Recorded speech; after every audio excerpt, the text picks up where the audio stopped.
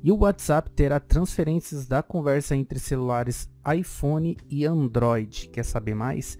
Eu sou Carlos Henrique, dono do canal Henrique Tutoriais. Se inscreva, deixa o like e compartilhe o vídeo sem enrolação e vamos direto para o vídeo. Bom, o WhatsApp começou a liberar nessa segunda-feira de 16 a função de transferências das conversas entre celulares iPhone e Android. Com a novidade, os usuários podem transferir todo o histórico do chat para o outro smartphone. De acordo com o site Wabeta Info, a funcionalidade já está funcionando para quem é beta tester, porque possui o iOS 2.21.160.16 instalado no aparelho.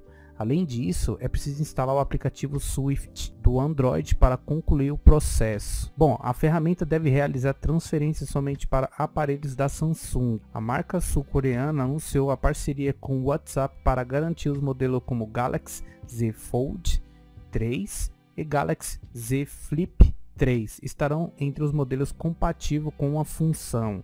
Nos próximos dias, contudo, que possui qualquer dispositivo Samsung com Android 10 ou superior também poderá utilizar o recursos. Tá? O caminho inverso de transferências de aparelhos com Android para o iOS ainda deve demorar um pouco, apesar de já estar sendo testado. Bom pessoal, eu vou deixar o link da matéria completo na descrição do vídeo. Eu vou ficando por aqui, um forte abraço e obrigado e fui!